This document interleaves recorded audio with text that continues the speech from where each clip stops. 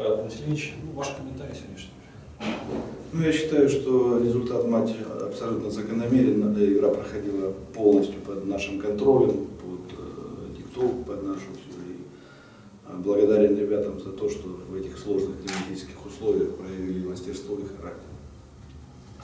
А Если брать, э, есть претензии, э, претензии по реализации момента во втором тайме. Так игра должна была заканчиваться с, с более крупным счетом. Во втором тайме мы не использовали три выхода, которые должны были заканчиваться взятием ворот команды соперника. Вопросы? Можно не Юрий Павлович, сложно работать в Воронеже или нет? Легко, очень легко, потому что э, Воронеж футбольный город, очень легко с э, руководством клуба работать, потому что э, все делается для того, чтобы в Воронеже э, создать хорошую команду, и для этого есть предпосылки, для этого есть любовь болельщиков. Все делается для того, чтобы команда, и команда хорошая в Воронеже будет в ближайшее время.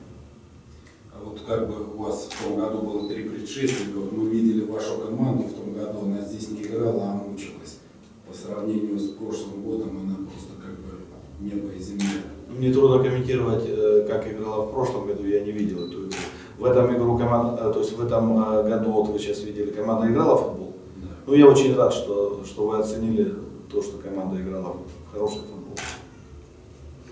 Дмитрий Борисович, ну, ваш комментарий, конечно. Первая домашняя игра в этом сезоне.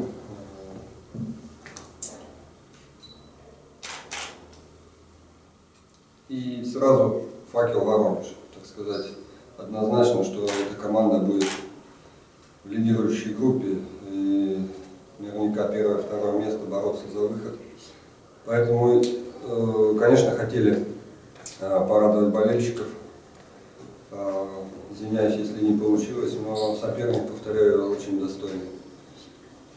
И те два гола в первом тайме как бы подтверждают класс команды за малейшие ошибки, недочеты. Как бы соперник сразу нас наказал двумя голами.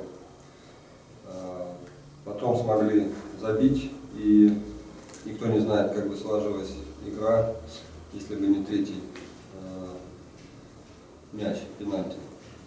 Вот. Э, Ну, тем не менее, как бы даже в десятером пытались, пытаясь исправить ситуацию, забить еще.